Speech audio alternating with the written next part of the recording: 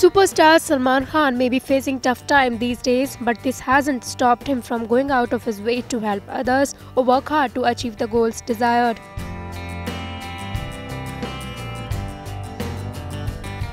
Be it films, philanthropic work, setting others' career in the film industry, or the extensive workout, the superstar has never shied away from moving ahead and help.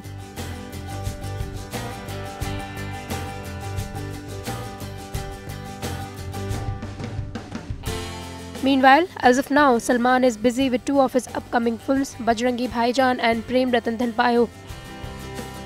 Both the films will see Salman in totally different look and characters and for that the superstar has trained extensively. IANS report.